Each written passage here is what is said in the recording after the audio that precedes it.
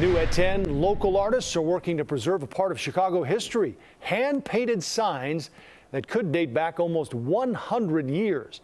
CBS 2's Marybel González tells us how they were discovered and where they could be going.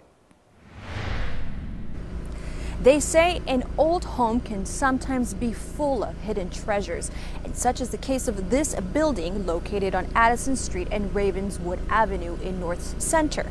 Luckily, those were discovered just days before it was set to be demolished. Behind these four walls of this North Center building lie several nearly 100 year old gems.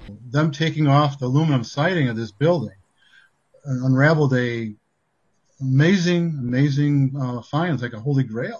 Bob Behonig is a longtime local sign painter, and he's referring to these hand-painted signs that were discovered during the process of tearing down the structure.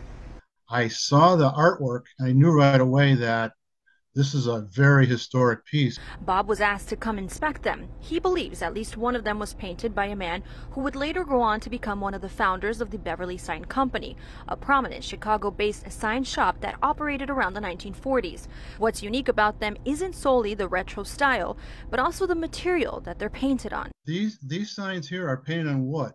Most of the wall signs in Chicago are all painted on brick.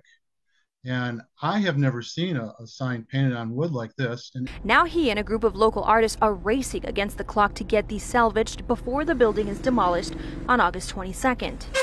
Today, one of the signs did.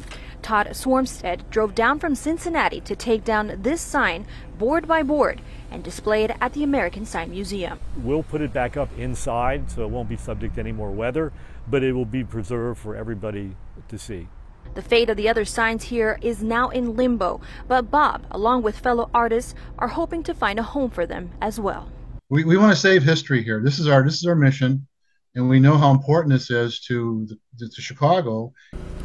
Those local artists have started an online campaign to raise funds to remove these signs. For now, they plan on housing them in a safe location until they can find a local museum to display them. In North Center, Marybel González, CBS 2 News.